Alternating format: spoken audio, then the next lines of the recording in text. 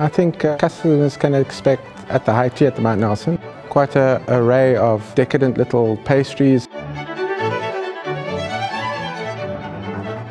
A few of our, our, decadent little pastries, we have something like a duo of chocolate where we have milk chocolate and a little bit of a dark chocolate with a, with a nice chocolate creamy cremeux on the top.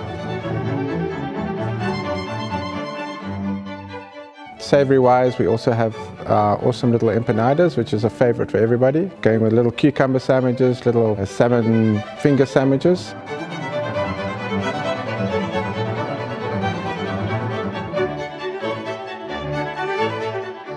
so many different varieties of things. I mean, we do dietaries from gluten-free to vegan.